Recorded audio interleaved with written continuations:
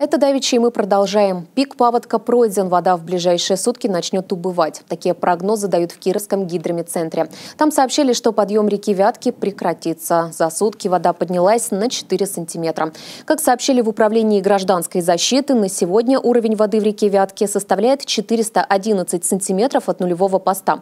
Подтоплены дороги в Слободе Широковской, Дымково, на улице Лесозаводской в микрорайоне Вересники.